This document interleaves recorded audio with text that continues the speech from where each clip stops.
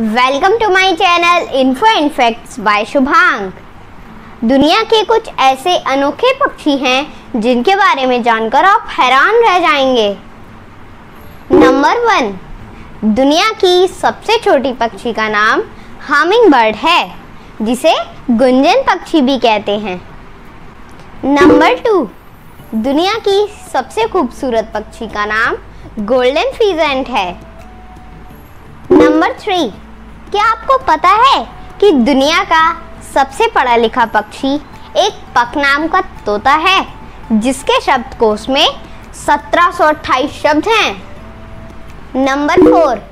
संसार के सबसे छोटे बंदर का नाम पिग्मी मार्मोसेट है, जो हमारी एक उंगली से भी छोटा होता है। Thank you. Please like, share and subscribe.